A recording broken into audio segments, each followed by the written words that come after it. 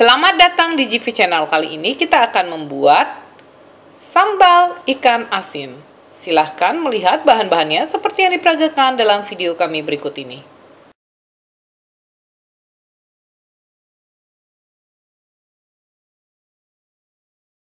Pertama-tama kita menggongseng tomat,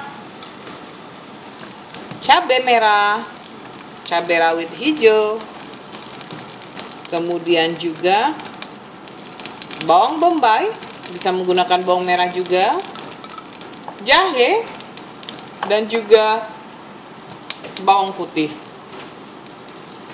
Dan kita bisa masukkan ikan asin. Setelah itu kita tutup dan kita biarkan hingga bagian bawah kecoklatan. Nah, kira-kira setelah sedikit kecoklatan atau kehitaman seperti ini, kita balikkan, cantik sekali. Demikian juga dengan bawang dan cabai. Nah, kita tunggu juga hingga bagian sisi lainnya menjadi coklat kehitaman. Hmm, harumnya wangi sekali. Nah, tampaknya sisi bawah juga telah kuning kehitaman. Kemudian kita matikan kompor kita dan kita angkat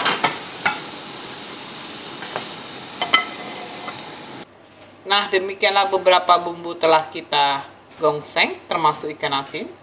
Dan kemudian kita blender. Kita haluskan bumbu, kita masukkan tomat, bawang putih, bawang bombay, juga jahe, dan juga cabai rawit, cabai merah, dan kekasan daripada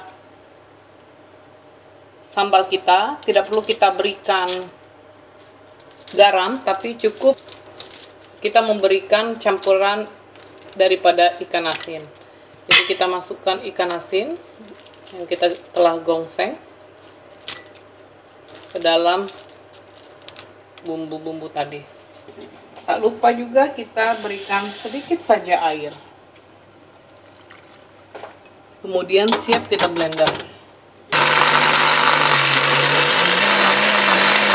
Bahan-bahan telah dihaluskan seperti ini bentuknya.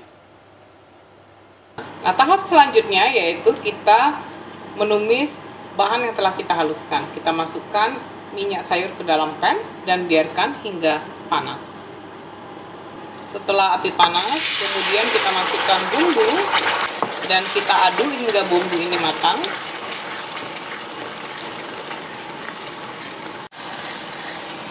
Nah, tampaknya sambal ikan asin hampir matang sempurna. Kita masukkan jeruk nipis menambah sensasi kesegaran dari sambal. Kemudian kita bisa masukkan kecap manis sedikit saja atau juga bisa kita masukkan gula merah nah, kita aduk hingga rata. Nah tampaknya sambal telah matang sempurna. Kemudian kita matikan kompor dan kita pindahkan ke dalam satu wadah. Hmm, menggiurkan sekali.